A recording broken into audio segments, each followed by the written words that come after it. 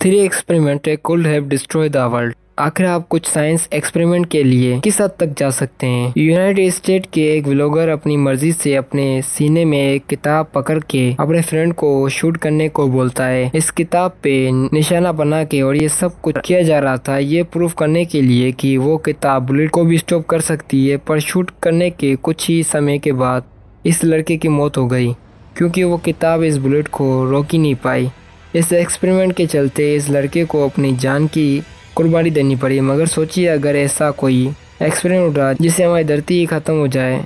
या फिर इंसानियत का खात्मा हो जाए तो फिर क्या होगा? आज हम इसे कुछ एक्सपेरिमेंट के बारे में बात करेंगे, जिससे शायद ऐसे ही कुछ हादसे हो सकते हैं। जानने के लिए इस वीडियो को पूरा देखिए। Number one Kola super deep hole Soviet Union का एक साइंटिफिक प्रोजेक्ट था, जिस प्रोजेक्ट का काम था का सबसे बड़ा और डीप होल खोदने का। और अर्थ के अंदर क्या है, उसे जानने का। हालाँकि इस तरह के होल्स को खोदने का प्रोजेक्ट यूनाइटेड स्टेट ने भी बनाया था और इस ओकालाहोमा में भी ब्रिथर रोजस होल को सात हज़ार पाँच सौ तिरासी किलोमीटर तक ही खोदना मुमकिन हो पाया था। कोला होल का शुरू हुआ था सन 1917 में और अब ये आप जानकर हैरान होंगे कि साल 1983 तक इस होल को 18 किलोमीटर तक खोद लिया था, जो कि वर्ल्ड के सभी रिकॉर्ड्स को तोड़ चुका था और ये होल इंसानों के द्वारा बना गया सबसे बड़ा होल है। साल 1996 में इस होल को 13.5 किलोमीटर तक खोद लिया गया था। लेकिन टेम्परेचर 180 सेल्सियस से भी ज़्यादा होने के कारण बहुत सारे टेक्निकल प्रॉब्लम्स हो रही थी और साल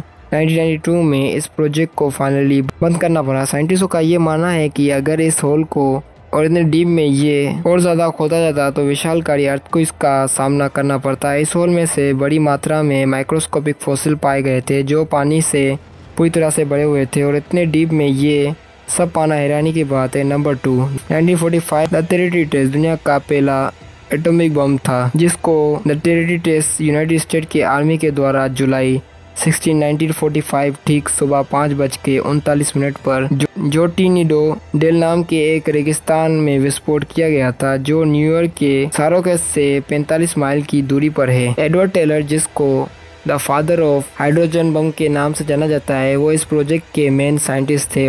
और आप शायद ये सुनकर हैरान हो जाएँगे कि हमारे एटमॉस्फेयर में सबसे ज़्यादा नाइट्रोजन गैस है, जिसकी वजह से ये एटॉमिक बम इस एलिमेंट के साथ फ्यूज होके एक चेन रिएक्शन खड़ा कर सकता है और जिसकी वजह से पूरी दुनिया तबाह हो सकती है। ये जानने के बावजूद भी यूएसए गवर्नमेंट ने साइंटिस्ट एडो टेलर को ऑर्डर दिया था इस विस्फोट को करने के लिए। ये बम विस्फोट होने के समय जो मंजर था, वो बहुत ही भयानक था। बीस के जी टन का एक धमाका हुआ, जिसकी वजह से आग आसमान तक पहुँच गई थी और एक विशाल आकार के धुएँ का बादल चालीस हज़ार किलोमीटर तक फैल गया था। आसपास के इलाकों में टेम्परेचर बहुत ही ज़्यादा बढ़ गया था और जिस जगह विस्फोट हुआ था, इस जगह का दो मीटर चौड़ा और दस मीटर लंबा एक खड्डा बन गया था। यहाँ तक कि इसके शॉक वेव्स सौ किलोमीटर तक महसूस किए गए थे। पर कोई भी चेन रिएक्शन न होने के कारण ये टेस्ट सक्सेसफुल हुआ था। नंबर थ्री ए जिसको सर्च फॉर एक्स्ट्राटेरिशियल इंटेलिजेंट के नाम से भी जाना जाता है। ये एक ऐसा रिसर्च टीम है जिनका काम था लाइफ को जानने और डिस्कवर करने के लिए। जो जो प्रोजेक्ट किया जाता है, इन सभी प्रोजेक्ट की जानकारी रखना और उसे हैंडल करना, इसको इसको 1896 में निकोलो टेस्ला ने बनाया। रेडियो वेव्स को यूज़ करके एलियंस लाइफ को ढूंढा जा सकता है। इसके कुछ सालों बाद इन्होंने मास से आते हुए एक रेडियो सिग्नल को डिटेक्ट किया और इसके लिए यूएसए ने 1924 में 21 अगस्त से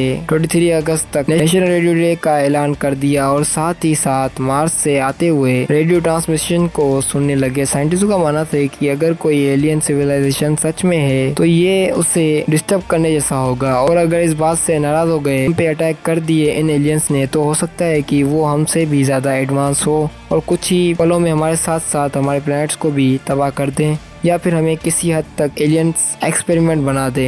स्टीवन हॉकिंग का भी यही मानना था, क्योंकि अर्थ में जब सिविलाइजेशन मिलती है, जिनको एडवांसमेंट में बड़ा अंतर होता है तो एडवांस सिविलाइजेशन कमज़ोर सिविलाइजेशन को नुकसान ही पहुंचाती है। लेकिन इन सब खतरे ने साइंस कम्युनिटी को नहीं रोका। इसे एक्सप्लेन करने के लिए, जैसे कि आप जानते हैं कि आज भी पूरी कोशिश जारी है स्पेस टेलीस्कोप इलेक्ट्रोमैग्नेटिक डिस्कवरीज और एडवांस कंप्यूटर को द्वारा। एलियन लाइफ को ढूँढने की। उम्मीद है हमारी अर्थ को फर्दर इसके कारण कोई नुकसान न पहुँचे।